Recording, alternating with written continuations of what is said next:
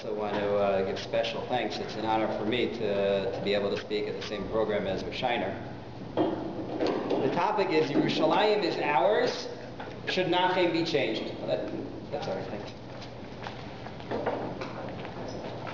The Nachem Tefillah is introduced into the Shemona Esrei at Mincha on Tisha. I didn't actually bring you on the sheet to the current edition of Nachem. I brought you instead the original, which is found in the Yerushalmi in Brachos. It's source number one.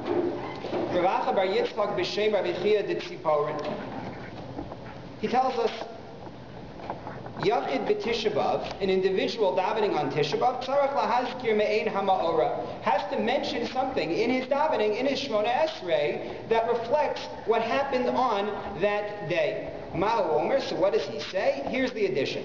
Rachem Hashem Elokeinu b'rachamecha harabim. Hashem, in your great mercy, have mercy upon us. Ubechazdecha ne'emanim, and in your, your faithful chesed, Aleinu ve'al amcha Yisrael, for us, for your nation Israel, al Yerushalayim Yirecha, Yerushalayim, your city, Val Tzion, Mishkan. We're familiar with these phrases. We've seen them elsewhere aside from Nachem. Val ha'ir ha'avela, v'ha'chareva, v'ha'harusa, v'ha'shomema. And for the city that is grieving, for the city that is desolate, for the city that is destroyed, for the city that is in ruins, hanesuna bi'ad zarim, which is given into the hands of strangers, harumusa bi'ad aritzim, that has been trampled in the hands of wicked people. V'yirashua it was conquered by legions. V'yachalelua ovdei psilim, worshippers of idols have desecrated it. Ol Yisrael amcha nasata nachla was supposed to be given to us as our portion. The, uh, and then there's the, the quote of the psukim that Hashem is going to rebuild it with fire just as it was destroyed in fire. That's the original version of Nachem, and it exists to this day in slightly altered form. And you see it starts here with Rachem rather than Nachem. The, um, there's also another change that over time develops in terms of where it's said in the Shemona Esrei. Is it said in Ritzei? Is it said in Vial Kulam? Is it said in the, uh, the bracha of the rebuilding of Yerushalayim? The uh, somewhat altered editions appear in the earliest Sidurim we have from the period of the Gaon Gaonim, the Siddur of Amram Gaon, Rasaja Gaon. The, um, in the Yerushalmi, it seems to be said at each tefillah, whereas among the Rishonim they change it to appear specifically at Mincha. In the Yerushalmi, it doesn't have its own ending of Baruch Atah Hashem. That only appears in the period of the Gaonim. But the key line that I want to address this morning is the description of Yerushalayim as Ha'ir ha'avela, the city that is grieving, v'ha'chareva, that's in ruins, ha'harusa, that's destroyed, or as it appears in our own edition of Nachem, ha'ir ha'chareva, v'ha'bizuya, v'ha'shomema, the city that is ruined, the city that is disgraced, the city that is desolate, mi believe baneha, that doesn't have its children in it, yosheves v'chaverosha hafui, it sits and its head is covered, dot, dot, dot. The, um, the, the, the question arose in the year 1967 when control of the city was restored to us, um, should we still call it the city that is kareva, that is destroyed? Should we still call it the city that is in a disgrace? Does that reflect what we actually see?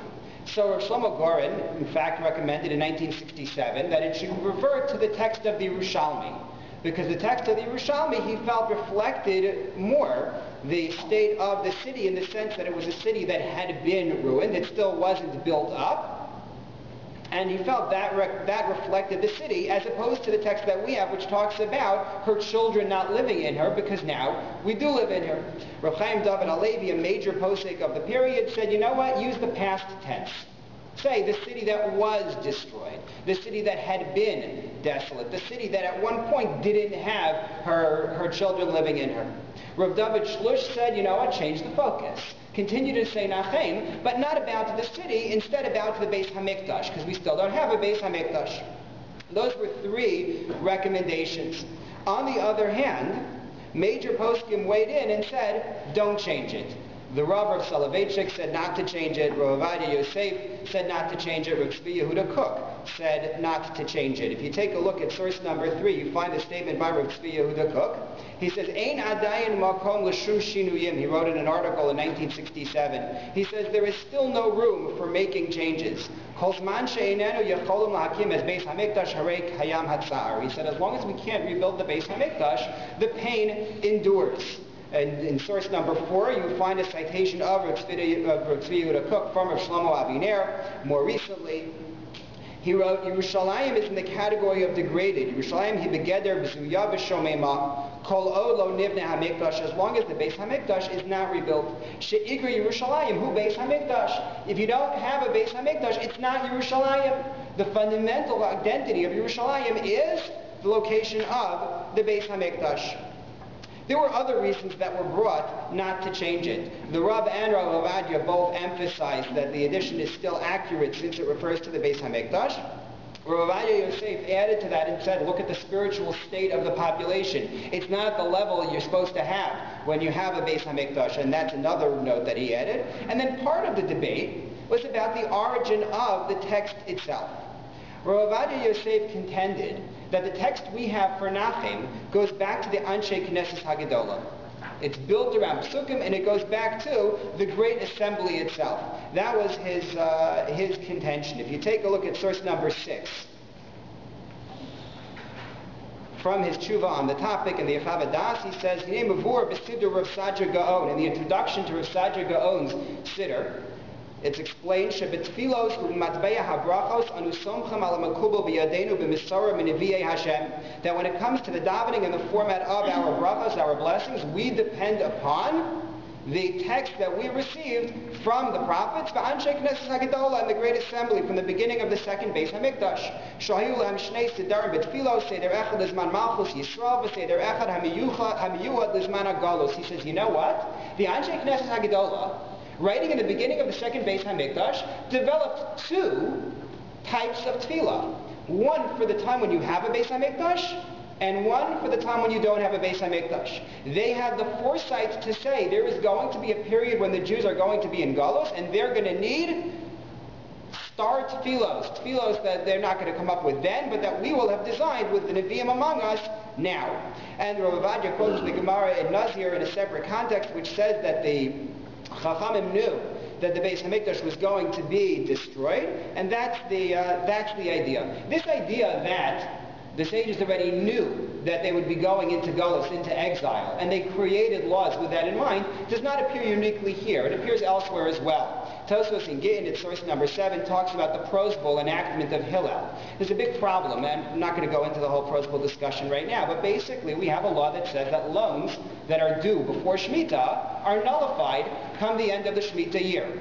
But Hillel creates the Prose Bowl institution, which allows loans to survive the nullification that should occur in Shemitah. And there's some debate as to what exactly he did and how he did it, but within the view of Tosfos, he's essentially overriding an existing law. And the problem is that Shemitah's Ksafim, the idea that these loans should be nullified, is a biblical law. So how can Hillel create a rabbinic enactment that's going to nullify a biblical law? And Tosfos' answer is, that during the second Beis Hamikdash, the time of Hillel, indeed, Shemitah is still biblical. That's the position Tosfos takes. However, Hillel doesn't create the Prozbul for that period of time. Hillel creates the Prozbul for this anticipated period when the Beis Hamikdash is going to be destroyed, and that's when it's going to take into effect. That's when it's going to take effect. If you see, source number seven from Tosfos, Lotika and Hillel Prozbul the Doro, he created this for the period when the Beis Hamikdash would already be destroyed. Then Shemitah would become a derabanan, and at that point it would uh, it would take effect. It's a remarkable position that. Um, that Tosfos takes their Ramban and protests and says, God forbid, you can't think of a greater al-tiftach pelasatam than creating a law and saying, well, this will come into effect when the Beis HaMikdash is destroyed. You're just, you're just asking for trouble. Nonetheless, that's the position of Rav Ovadia regarding Nachem. It was actually created by the Anshe Knesset Haggadola in anticipation of a later time. The, um, and that's one view. The alternative view is that in fact, Nachem has been changed over time. It had one text that we saw in the Yerushalmi, but it had to, but it had been modified later on. This is also not unique to Nachem. Ramban makes the same point regarding benching. We are taught that Shlomo HaMelech enacted a bracha and Birkas Hamazon for Yerushalayim. The addition that we say in the bracha for Yerushalayim starts, well that starts, it concludes, Uvnei Yerushalayim Rakodesh B'mherav Yameinu. We ask Hashem to build Yerushalayim. Shlomo HaMelech would not have created a bracha saying Uvnei Yerushalayim. And so Ramban explains, it's in source number 8, in his commentary to the Sefer HaMitzvot, he says, the core idea of benching is, of course, biblical, and the Gemara explains that. וכולן אין מטבע התורה, אבל נסתבינו מן התורה שנברך אחר אכלסנו כל אחד כפי דעתו, ובאו הנביאים ותקנו לנו נוסח מתוקן הלשון בצלח המליצה ושנינו ואנחנו עוד בגולוס. Ramban says, benching is, mandatory, is mandated biblically. The Nevi'im give us what we're supposed to do, what the brachas are supposed to speak about, and in the, in the course of going into Galus, we changed the bracha for Yerushalayim to reflect this tefillah that it should be rebuilt. So says Ramban on Birkas Hamazon. So there are some who suggest that just as Ramban can say regarding Birkas Hamazon that it was altered to reflect the reality we needed to daven for Binyan Beis Hamikdash, so too we, uh, we would need to, we would need to change Nafim to reflect the new reality. As I said before, Rav was very against this. He felt the text is old and does not get changed. Rav Soloveitchik was against this. Rav Soloveitchik inveighed heavily against the idea of changing davening at all, what he called creative liturgy. He felt we have we had chachamim, we had neviim in the Anshe Knesset Haggadola, and we don't uh, and we don't tamper with tefillah, we don't create tefillah. As he put it, the uh, davening is supposed to reflect a conversation with Hashem. It's not something that you can just uh, that you can just write. So we have two schools of thought the uh, one school of thought saying change the line because it doesn't reflect Yerushalayim as we have it now, the other school of thought saying don't change it. And within the school of thought that says don't change it, we have two primary reasons that we, uh, just to sum it up. Number one, this tefillah is old and we don't change tefillah. And number two, a view we brought a few minutes back, which says the reason we don't change it is because you don't have a Beis HaMikdash. Within the view of the Rav and Rav Ovadia, that, we, that it's, it's about the loss we suffer, I have a question. And my question is, if we're really talking about the loss of the Mikdash, why do we word it about Yerushalayim at all? What change is there in the nature of Yerushalayim in the absence of a Beit Mikdash? And I'd like to identify three different ways in which Yerushalayim is different in the absence of a Beit HaMikdash. You see it there on your sheet in the heading, social, religious, and aesthetic. First of all, the social character of the city. In the time when we have the Beit HaMikdash, we are taught there are ten nisim ten miracles that are associated with the Beis HaMikdash, but not all of them take place in the Mikdash itself. One of those that's listed in the Mishnah in Pirkei Avos that gives us the, the, um, the list of ten. Take a look at source number nine. Asar Nisim Nasu Lavasinu Beis Hamikdash. Ten miracles took place for our ancestors in the Beis Hamikdash, and one of them is. No one ever said to somebody else, there's no room for me to stay in Yerushalayim. No one ever said, I'm out of space in the city. This doesn't take place in the Beis HaMikdash. This is not talking about Ondim Tzlufim Mishtachvim Ravachim, people cramming into a cramped space in the Beis HaMikdash and miraculously finding room. This means in the city itself, people came for Aliyah Regel, they came for Yom Tov, and they never said, I don't have room. So the Sadagera Rebbe said, why is it that no one was blocked out? Why is it that everybody had room? Because each one was sameach bechelko. Each one was happy with what he had. And that is one of the nisim that occurred when we had a Beis HaMikdash.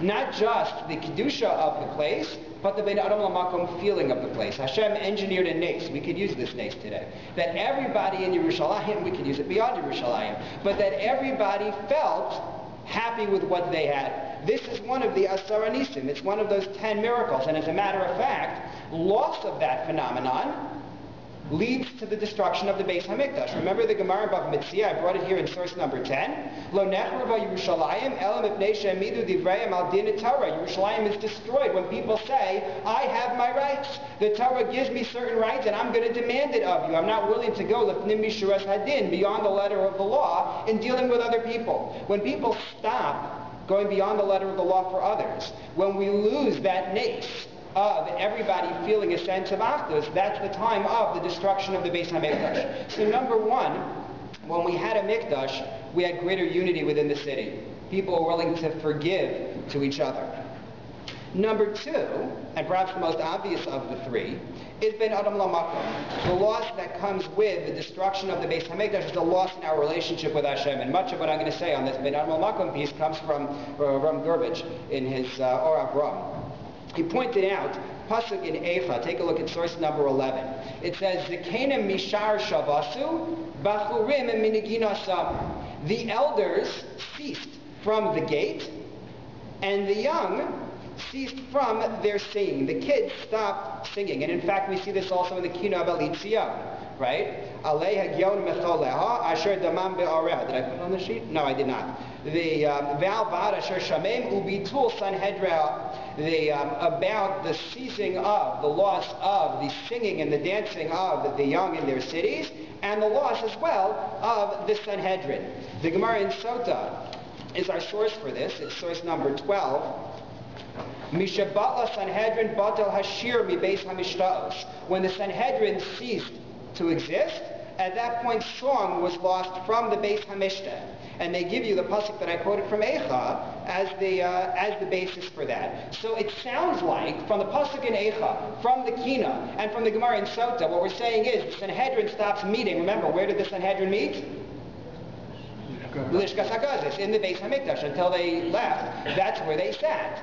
When the Sanhedrin left the Beis Hamikdash, it sounds like naturally people just stopped singing.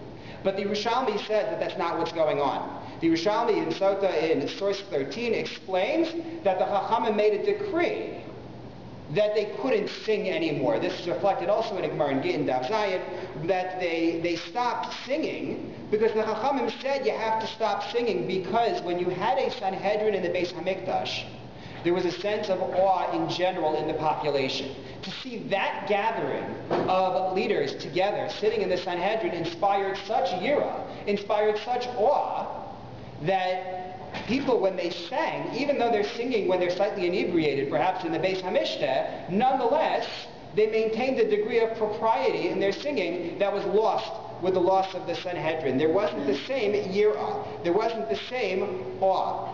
Along similar lines, we have a Mishnah in Pirkei Avos, source 14. Yehuda ben Tema said, dot, dot, dot, and then it concludes with the Yehi Ratzon. Yehi Ratzon b'fanecha Hashem Elokeinu may be your will Hashem, shetibane ircha b'mhera b'yameinu, that your city should be rebuilt speedily in our days, v'sein chalkeinu b'sarasecha, and give us our share in your Torah. Notice the association. Hashem rebuild Yerushalayim, and when you rebuild Yerushalayim, I will have my share in your Torah. What's the association between rebuilding Yerushalayim and me having my share in the uh, in the Torah? What's the link between the between the two of them?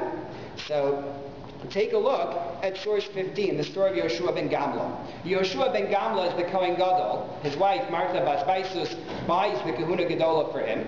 And Yoshua ben Gamla does some incredible things, including sponsoring and initiating the creation of public schools so that those who don't have parents who can teach them Torah will end up learning in these public schools. And at one point he sets up the school specifically in Yerushalayim. Then it doesn't work. Not everybody can make it to Yerushalayim, and so they set it up in the cities instead. Why does he insist on setting it up in Yerushalayim? Well, the Pasuk says, Kimitzion Teitze Torah. Torah emerges from Zion. But take a look at source 16, comment from Tosfos.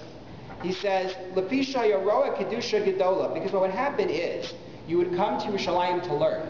You would see the great Kedusha, you would see the great sanctity.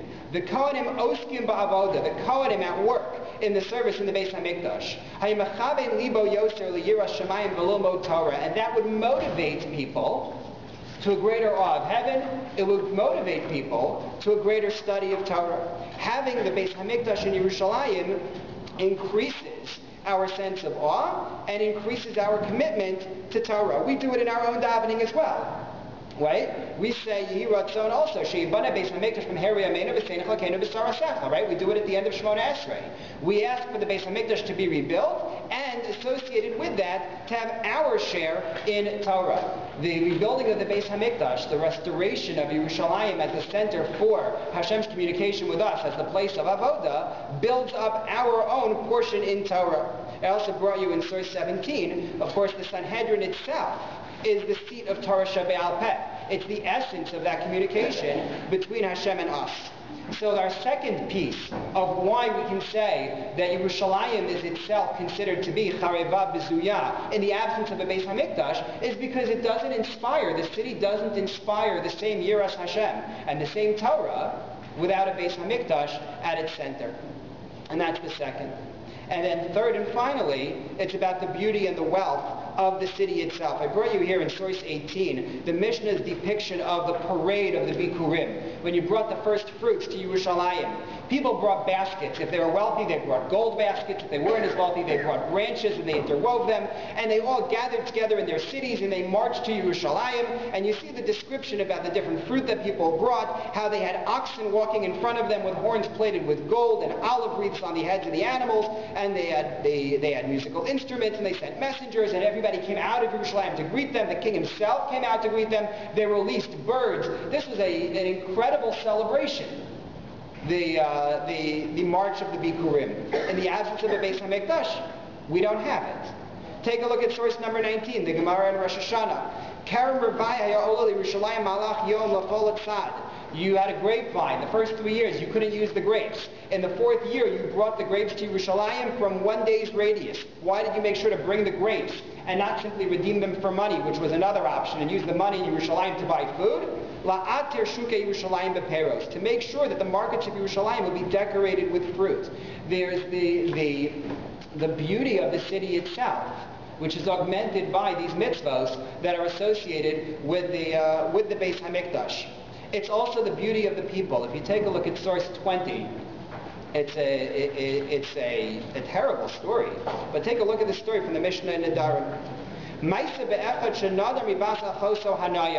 There was a practice in the time of the uh, in the time of the Beis Hamikdash. Sorry, the time of the Beis Hamikdash. In the time of the Gemara, the, uh, there was a practice of having men marry their nieces, and the idea was that if one's niece was not able to find a shidduch, she wasn't able to get married, she needed to be protected within the family economically. It wasn't easy for a woman to, uh, to make her living on her own. And so, what would often happen in the days when a man could marry more than one wife, is that he would take in his niece, he would shelter his niece, marrying her and making her a part of his home.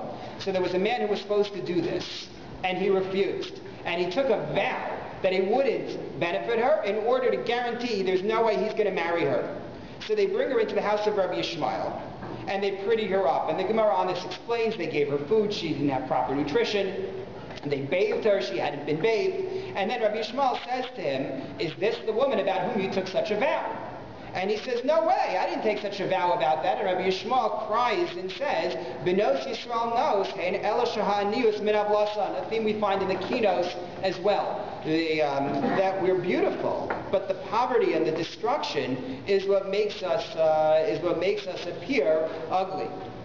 The, um, in some, we say in the Kinos in the, in the beginning of the fourth parak, Eicha yu'am zahav. How is it that the gold has become dimmed? That's a reference to Yoshiyahu, but it's also a reference to Yerushalayim Shel Zahav, the city which we associate with gold. The, um, the Medrash in Eicha says that the gold has been dimmed, the gold has been covered up, the gold has been changed.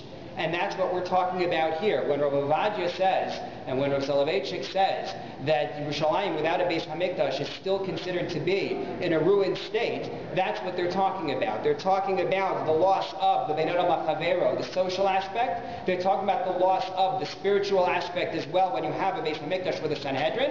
And they're talking as well about the loss of the physical beauty associated with the mitzvahs of the Beis Hamikdash. You know, today, we live in an era that you could call an era of Shabbat Chazon in a sense. Yesterday was Shabbat Chazon. And we went through Shabbos sort of on a weird balance, where on the one hand you know it's the nine days you're leading into Tisha B'Av, it's a miserable time to commemorate loss. We read the Haftarah Chazon, this horrifying, frightening first parak in, uh, in Yeshaya, where Hashem says, I don't want you to celebrate, I don't want you to come to my Beis HaMikdash. And then on the other hand, it was Shabbos. And we had Shabbos meals, and we sang at the table, and all of that. We are living in an era which is an era of Shabbos Chazon. It's an era in which, on the one hand, we still lack the Beis Hamikdash, and on the other hand, we have so much that's been restored to us. It's the time for us to do whatever we can to be metakim, to repair these three levels. The level of Beinadim Lachavero, the social, the level of Beinadim Lamakom, between us and Hashem, and the beauty of the city itself, building up the city of, of Yerushalayim. Rav Soloveitchik noted that, for, that we only say Nachem at Mincha, even though the Yerushalmi has us saying it at every Shemona Esrei, we only do it at Mincha.